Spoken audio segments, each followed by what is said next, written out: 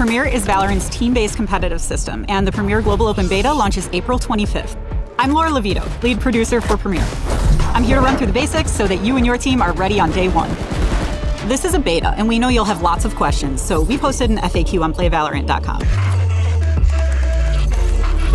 The Premier Beta path will have three phases enrollment, playing weekly matches with your team, and tournament day to determine a champion.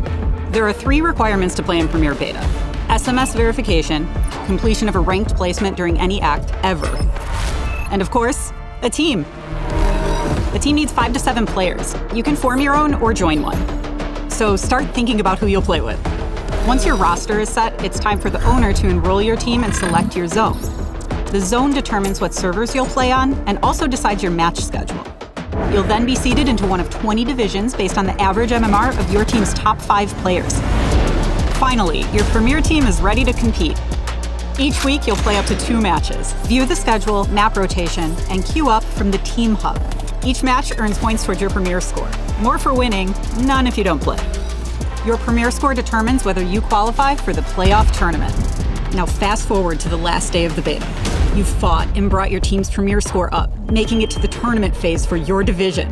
Congrats. Tournament matches will use a map pick and ban system, similar to pro matches.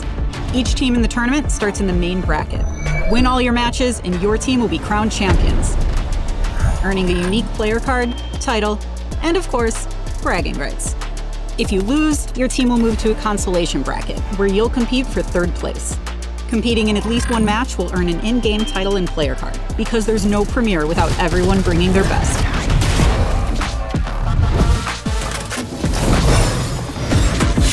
For more information about Premier and how to report any bugs, check out our FAQ. Let us know what you think using the hashtag Valorant Premier Beta. We'll be back with the next phase of Premier in July, with a full launch planned for just after VCT Champions 2023 in August.